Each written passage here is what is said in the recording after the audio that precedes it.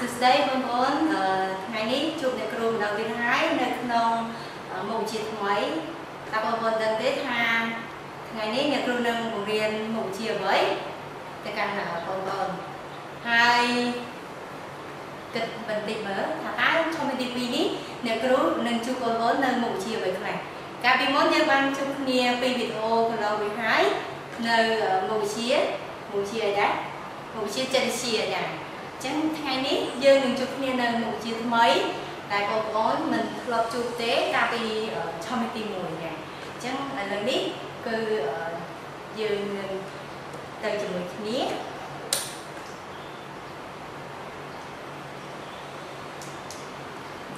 ចាអញ្ចឹងអញ្ចឹងនេះគឺជាមុខវិជ្ជាថ្មីដែលយើងនឹងសិក្សាជាមួយគ្នាដែលនៅក្នុងនោះមានសិភៅ ពីរពីរក្បាលដែលនៅក្នុងនោះគឺសិភៅមួយក្បាលសម្រាប់គ្រូវិទ្យាសម្រាប់មួយក្បាលទៀតគឺសម្រាប់បងប្អូនដែលជាសិភៅឯកសារអញ្ចឹងបងប្អូនស្គាល់ហើយណាបើថាសមកចេញមកធំធំហើយកម្មវិធីស្រាក៏បានមិត្តយើងនឹងជួបគ្នានៅក្នុងឆមាសនេះនៅកម្មវិធីស្រាប់បានត្រីនេះចំនួន8មេរៀនបន្ទាប់មកយើងនឹងចូលទៅ កម្មវិធីថ្មីមួយទៀតគឺអមវិជាបន្ថែមមួយទៀតគឺថ្នាក់គូចឹងយើងរៀនជាមួយគ្នាជាមួយអ្នកគ្រូណាអរគុណចឹងឥឡូវយើងចូលដល់ខ្លួនចាំមេរៀនយើងតែម្ដងណាចឹងកម្មវិធីស្រាកបានត្រីនេះយើងបណ្ដុំបណ្ដាលទៅដល់គ្រូសិស្សឆ្នាំទី1នៅឆមាសទីទី2នេះដែលអឺចានៅក្នុងឆ្នាំសិក្សា2019 2020យើងនេះចា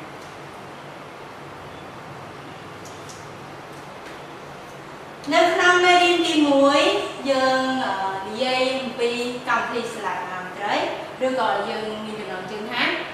ស្លាកកម្មត្រី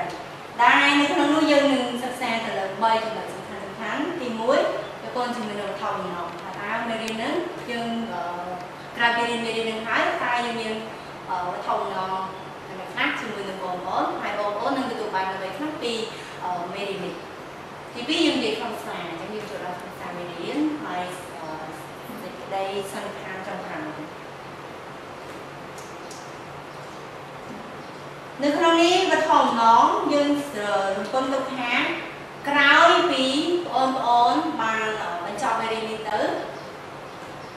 យើងសង្ឃឹមថាបងប្អូននឹងប្រាប់បានពីបញ្ញាស្អីទៅសាលាកម្ពុជាត្រីណានឹងគោលបំណងនៃសាលាកម្ពុជាត្រីតើគោលបំណងរបស់សាលាកម្ពុជាត្រីហ្នឹងជាស្អីគេអញ្ចឹងបងប្អូនអាចប្រាប់បានតាមថ្នាក់រៀនរបស់យើងណាមួយទៀតកំណត់បានច្បាស់នោះពីសាលាកម្ពុជាត្រីនិងសាលាមិនមែនជាសាលាកម្ពុជាត្រីអញ្ចឹងបងអាចស្គាល់ថាតើសាលាកម្ពុជាត្រីមានសារៈសំខាន់ការរៀនខ្លះហើយបងប្អូននឹងចង់បង្កើតសាលាដែលបងប្អូនទៅរៀនបន្ទាប់ពីនេះខ្លាយទៅជាសាលាកម្ពុជាត្រីមួយទៀតបណ្ដុះស្មារតីឲ្យបងប្អូនមានគំនិតច្នៃប្រឌិត ក្នុងការរៀបចំសាលារៀនរបស់ដែលបងប្អូនទៅរៀនហ្នឹងខ្លាយទៅជាសាលាកម្ពុជាត្រីនេះគឺជាវត្ថុបំណងមេរៀនរបស់យើងចំណុចទី2យើងចូលដល់ក្នុងសារមេរៀនតែម្ដងដោយយើងមានដើមឡើងដោយ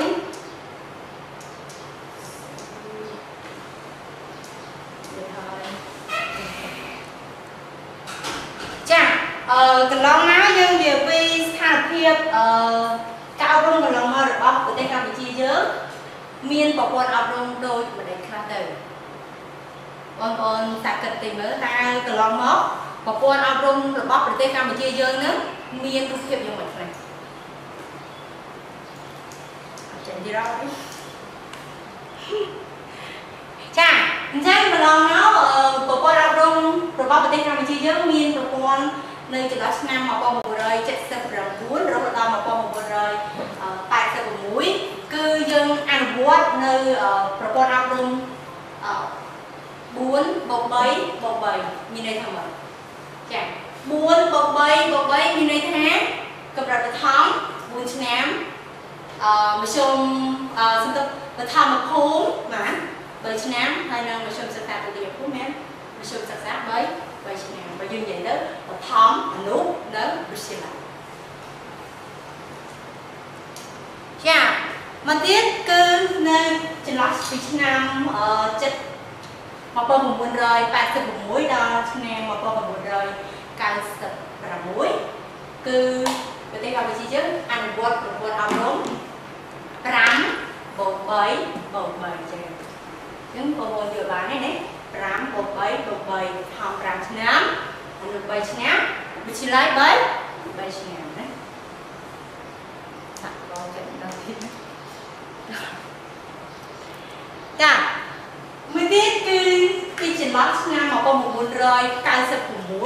ដល់បច្ចុប្បន្នគឺប្រព័ន្ធអប់រំនៅប្រទេសកម្ពុជាយើងអនុវត្តតាមប្រព័ន្ធ6 6មក3បូក3 ដែលមានកម្រិតបឋម6ឆ្នាំចាអនុ3ឆ្នាំហើយនៅវិទ្យាល័យ3 3ឆ្នាំចាអញ្ចឹងនេះគឺជាប្រព័ន្ធអប់រំកន្លងមកណាចាមួយទៀតគឺវិធីសាស្ត្រនៃការបង្រៀនកន្លងមកណាវិធីសាស្ត្របង្រៀននិងបង្រៀនភាគច្រើនគឺអនុវត្តតាមវិកលវិធីគ្រូម្ចាស់វិជ្ជាអឺអញ្ចឹងបើនិយាយទៅគ្រូទេចា ហើយឡប់មកទៀតគឺ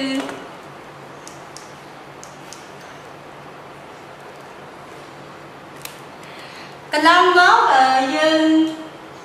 កន្លងមកយើងនិយាយថាម៉េចពុំសូវមានឃើញការចូលរួមរបស់សហគមន៍នៅក្នុងការអប់រំកុមារនិងមូលដ្ឋានសម្ភារៈអីគេសម្ភារៈឧបថាពុំទាន់ឆ្លើយតបទៅនឹងការអប់រំបែបអឺ គេហៅថាទៅទៅលើការអប់រំបែបគ្រូទេនឹងឡើយទេមានន័យថាពុំសូវទទួលបានលទ្ធលទ្ធផលល្អទេមានថាប្រព័ន្ធការអប់រំកន្លងមកហ្នឹងគឺពុំសូវទទួលបានលទ្ធលទ្ធផលល្អទេដោយសង្កេតឃើញថានៅក្នុងហ្នឹងគឺអត្រាអត្រាម៉េចអត្រាឡើងថ្នាក់ទាបហើយទ្រូងថ្នាក់គឺគឺច្រើនពិសេសគឺអត្រានៃការបោះបង់ការសិក្សាហ្នឹងកើនឡើងចា៎ជាងនៅក្នុងប្រព័ន្ធនៃការអប់រំកន្លងមកគឺបែបនេះមានន័យថាអត្រានៃការឡើងថ្នាក់ឆ្នាំសិក្សាថ្មីគឺទាបហើយអត្រានៃការត្រួតថ្នាក់ច្រើនហើយមួយទៀតនោះគឺការបោះបង់ការសិក្សានោះក៏ច្រើនដែរណាណាកាលណាគាត់រៀនអត់ចេះគាត់អឺបោះបង់ការសិក្សាគាត់រៀនអត់ទៅមុខណាមួយទៀតដើម្បីអនុវត្តអឺដើម្បីដោះស្រាយបញ្ហានៅលើមានន័យថាយើងដើម្បីដោះស្រាយទៅនឹងបញ្ហាអឺប្រព័ន្ធអប់រំកន្លងមកណានៅលើការអប់រំកន្លងមកដោយអត់មានការចូលរួមពីសហគមន៍ដោយអត់មានការចូលរួមពីអាណាព្យាបាលឬក៏អាជ្ញាធរដែនដីណា ឬក៏ការមូលដ្ឋានសម្ភារៈអីផ្សេងផ្សេងអញ្ចឹងអញ្ចឹងជាដំណោះស្រាយក្រសួងអប់រំយុវជននិងកីឡាបានសហការជាមួយនឹងអង្គការផ្សេងផ្សេងដើម្បីបង្កើតកម្មវិធីសាលាកុមារមិត្តរីនេះឡើងអញ្ចឹងយើងនឹងមានសំណួរនៅខាងក្រោយតែហេតុអីណា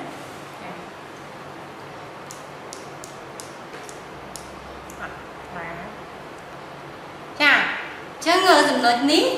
យើងចំណុចទី2យើងនិយាយពីបញ្ញាម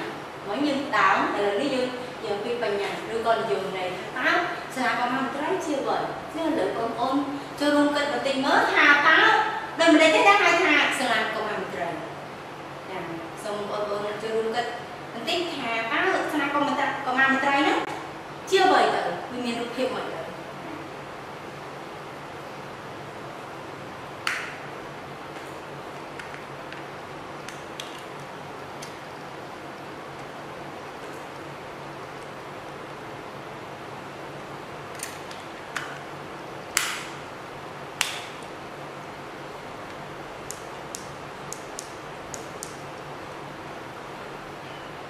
ចាអញ្ចឹងដើម្បីជួយឆ្លើយតបជាមួយនឹងសំណួរនេះហើយអរគុណសម្រាប់ចម្លើយក្នុងចិត្តឬក៏ចម្លើយលឺលឺរបស់បងប្អូននៅតាមផ្ទះណាចឹងឥឡូវអ្នកគ្រូមានចូលរួមណាមានតែចូលរួមខ្លះណាចាសាលាកម្មវិត្រីចាគឺទទួលស្គាល់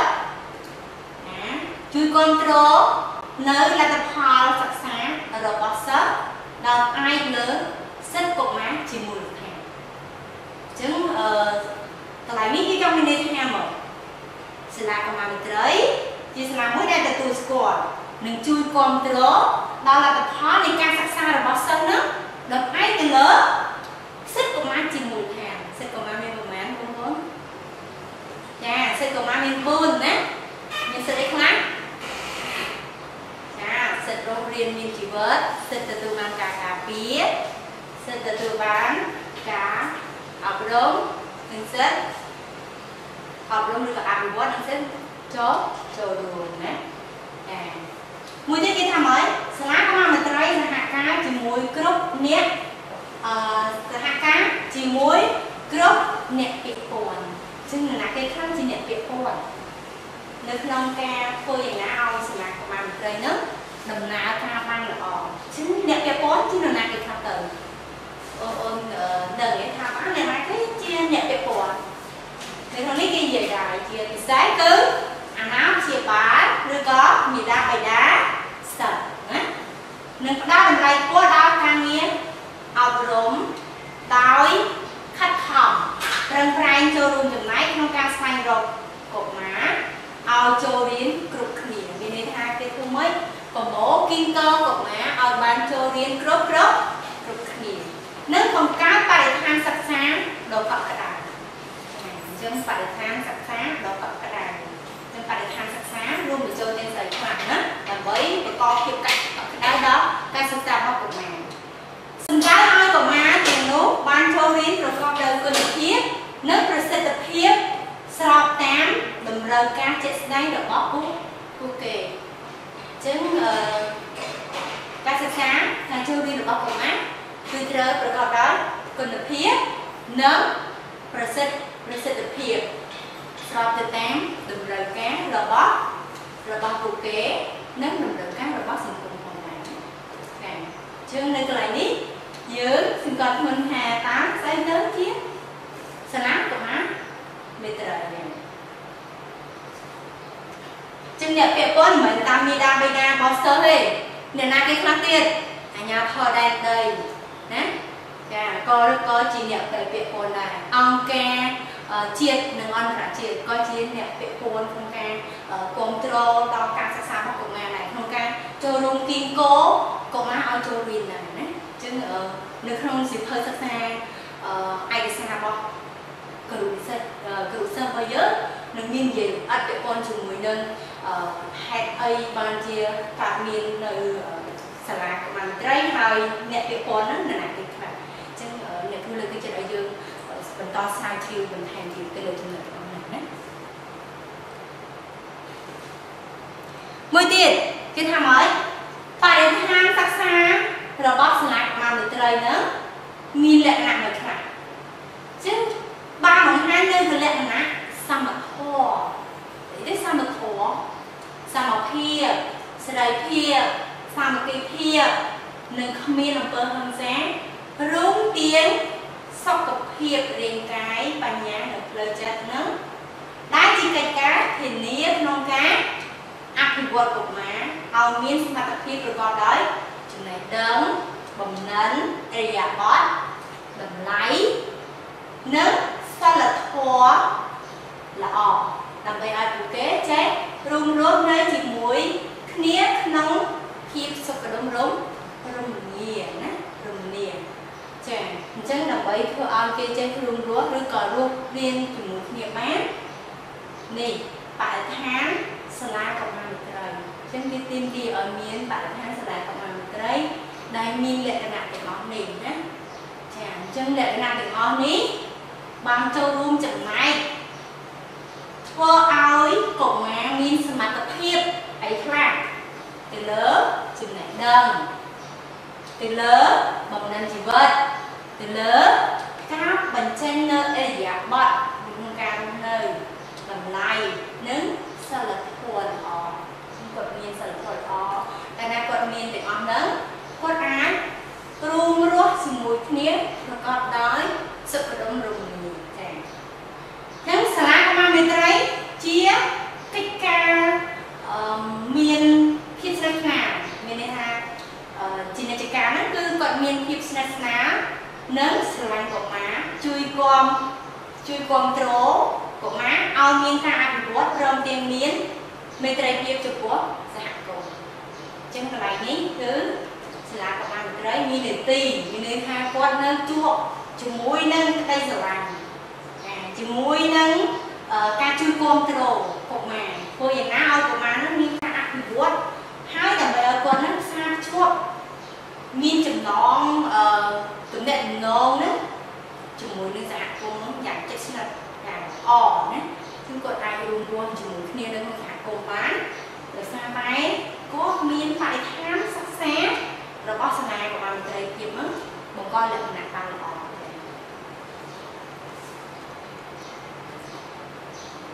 ចុះគោលបំណងវិញវត្ថុបំណងមេរៀនរបស់យើងចោលបងប្អូនទទួលបានបញ្ញត្តិរបស់សាលាកម្មមន្ត្រីហើយនឹងគោលបំណងថាអឺគោលបំណងរបស់សាលាកម្មមន្ត្រីហ្នឹងគេមានបំណងចង់ចង់ចង់បានយ៉ាងម៉េចទៅកម្មវិធីសាលាកម្មមន្ត្រីកាត់ឡើងក្នុងគោលបំណងដែរបងប្អូនចូលរួមគិតបន្តិចមើល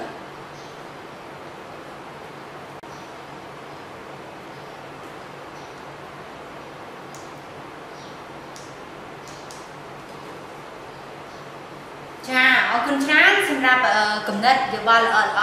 ក៏ដូចជាការគិត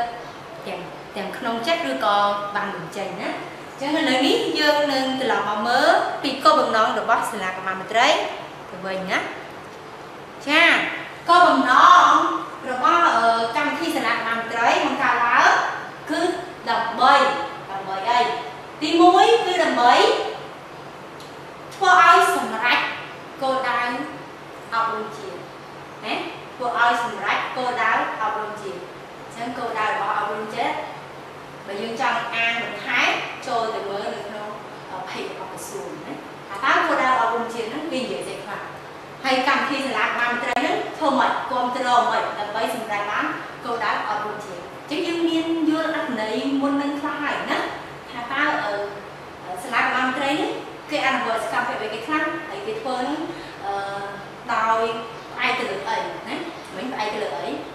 ចាផ្អែកទៅលើសិទ្ធិសិទ្ធិកុមារអញ្ចឹងសិទ្ធិកុមារមានមាន4នោះណាមួយទៀត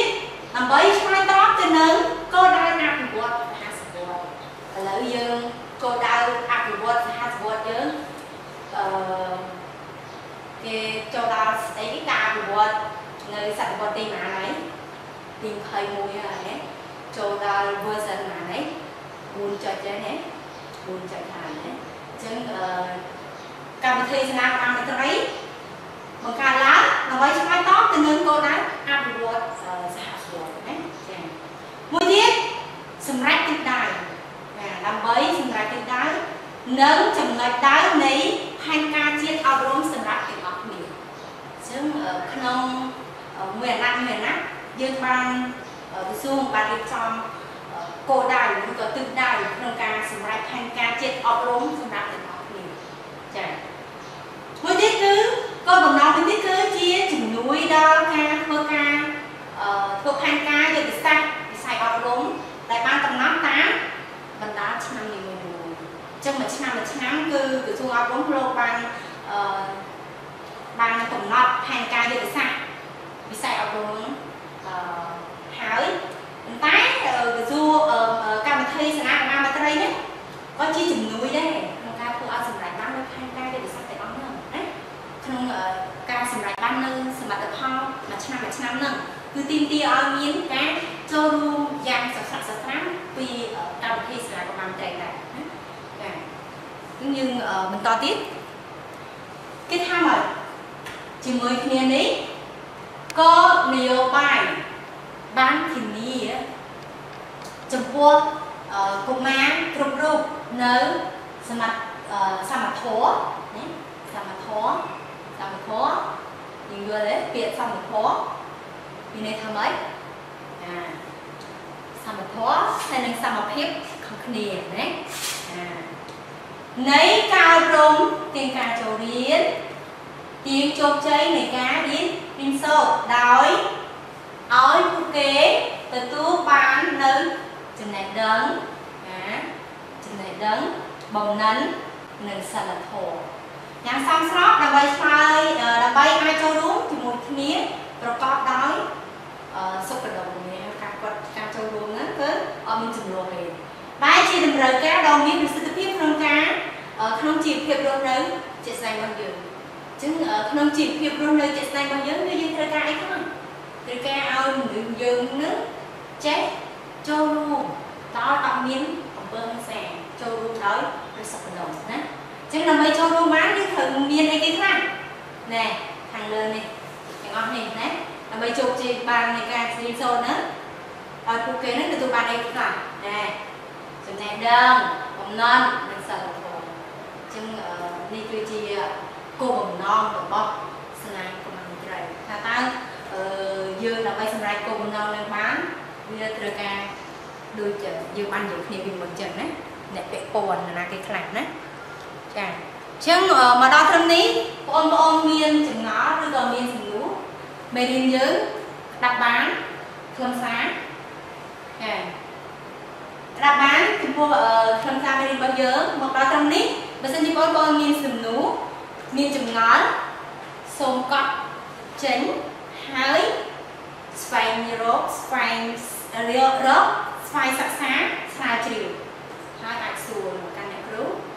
បានហើយនឹងសួរទៅកាន់ក្រុមសិក្សារបស់យើងបានណាចាអញ្ចឹងមកដល់ត្រឹមនេះយើងនឹងបានជាសេចក្តីសន្និដ្ឋានរួមមួយគឺថាម៉េចការអនុវត្តកម្មវិធីសមាគមមេត្រីពិតជាជួយដល់ការពង្រឹងពង្រីកគុណភាពអប់រំនៅថ្នាក់សាលារៀន ពិសេសធនធានបាននៅការធានាបាននៅការអភិវឌ្ឍធនធានមនុស្សប្រកបដោយគុណភាពប្រសិទ្ធភាពស្ថិរភាពនិងប្រែក្លាយសាលារៀនទៅជាសាលាកុមារមិត្តរីជាទីកន្លែងបណ្ដុះធនធានសម្រាប់អភិវឌ្ឍនៅមូលដ្ឋានភូមិឃុំសង្កាត់របស់សហគមន៍កន្លែងនេះសរុបមកគេថាម៉េច ការអនុវត្តសាលាកមាមិត្រីពិតជាពិតជាបានចូលរួមចំណែកក្នុងការបង្កឲ្យមាននេះការអប់រំឬក៏ការអភិវឌ្ឍធនធានមនុស្សនឹងប្រកបដោយគុណភាពចឹងមានគុណភាពចេញទៅមានមិនត្រឹមតែមានបរិមាណច្រើនទេប៉ុន្តែគុណភាពអាចប្រើប្រើប្រាស់បាននៅក្នុងសង្គមណានៅក្នុងវិស័យការងារនៅក្នុងជីវភាពរស់នៅ ចឹងមិនគាត់រៀនតែនៅសាលាហើយគាត់ចេះតែសាលាទេគាត់រៀនហើយគាត់យកទៅអនុវត្តនៅក្នុងជីវភាពរស់នៅរបស់គាត់ហ្នឹងបានប្រកបដោយគុណភាព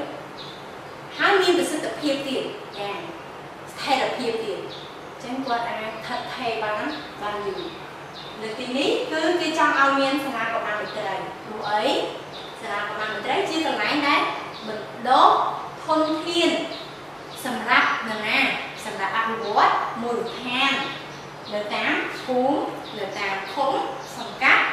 និងសហគមន៍របស់ខ្លួនចាអញ្ចឹងទាំងអស់នេះហើយដែលយើងលើកទឹកចិត្តឲ្យមានការអនុវត្តកម្មវិធីស្មារតីត្រីមួយទៀតដើម្បីជំរុញការអនុវត្តអញ្ចឹងមិញលើកទឹកចិត្តឥឡូវគេនិយាយថាដើម្បីជំរុញការអនុវត្តកម្មវិធីស្មារតីត្រីឲ្យមានប្រសិទ្ធភាពទីមទាឲ្យមានការចូលរួម ឧបត្ថម្ភគ្រប់គ្រងទាំងផ្នែកធនធានសម្ភារៈនិងថវិកាគ្រប់ផ្នែកពាក់ព័ន្ធផងដែរចាអញ្ចឹងសំខាន់ណាស់អឺសកម្មភាពទៅរួចបានលុះត្រាតែមានការគ្រប់គ្រងការឧបត្ថម្ភទាំងសម្ភារៈនិងថវិកាក្នុងការធ្វើសកម្មភាពដែរអញ្ចឹងអឺនេះគឺបើសិនជាយើងចង់ឲ្យសាលាយើងខ្លាយទៅជាសាលាកបាមត្រីទីមទីឲ្យមាន ឲ្យមានការចូលរួមណាឧបត្ថម្ភគ្រប់គ្រងអញ្ចឹងការចូលរួមហ្នឹងចូលរួមពីណាពីអ្នកពាក់ព័ន្ធចាអញ្ចឹងអ្នកពាក់ព័ន្ធណាណាទេខ្លះអាណាព្យាបាលអាជ្ញាធរអង្គការជាតិអន្តរជាតិរដ្ឋាភិបាលណាទាំងអស់ណាចាសាលារៀនណាតាំងពីថ្នាក់លើរហូតដល់ថ្នាក់ក្រោមណាចាចាមួយទៀតគេថាម៉េចការចូលរួមពីគ្រប់ផ្នែក ពាក់ព័ន្ធពិសេសការចូលរួមពីអាជ្ញាធរដែនដីចាជាអាជ្ញាធរដែនដីដែលគាត់នៅប្រចាំជាមួយនឹងភូមិឃុំរបស់គាត់ហ្នឹងគឺពិតជាមានទូនីតិយ៉ាងសំខាន់ណាសហគមន៍សង្គមស៊ីវិលដៃគូអភិវឌ្ឍនិងក្រសួងស្ថាប័នមានសមត្ថកិច្ចពិតជាជួយជំរុញការអនុវត្តកម្មវិធីសាលាកម្ពុជាមន្ត្រីឈានទៅសម្រាប់គោលដៅអប់រំ សម្រាប់ទាំងអស់គ្នាទទួលបានជោគជ័យយ៉ាងពិតប្រាកដអញ្ចឹងទទួលបានជោគជ័យបានលុះត្រាតែមានពួកគាត់ទាំងអស់គ្នាណាមានការមានពួកគាត់ទាំងអស់នេះចូលរួមណានិងធានាការបណ្ដុះបណ្ដាលធនធានមនុស្សឲ្យឆ្លើយតបទៅនឹងអីគេតម្រូវការទីផ្សារពលកម្មសំខាន់មែនទែនចាសេដ្ឋកិច្ចសង្គមអញ្ចឹងអឺសេដ្ឋកិច្ចសង្គមអភិវឌ្ឍទៅបានគឺថាតែមានធនធានមនុស្សនោះប្រកបដោយគុណភាពប្រសិទ្ធភាពដែរណាមួយទៀតវប្បធម៌សង្គមអឺវប្បធម៌សន្តិភាពហើយថាប្រទេសយើងមានអ្នកចេះដឹងមានអ្នកអឺមាន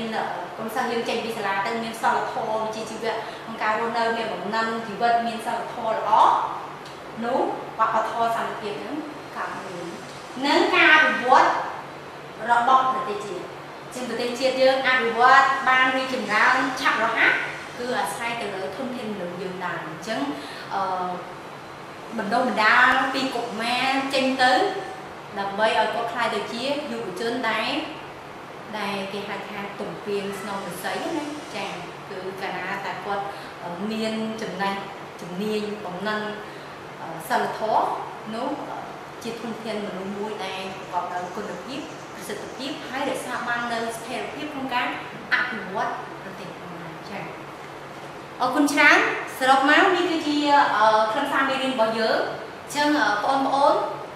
ទទួលទទួលបាន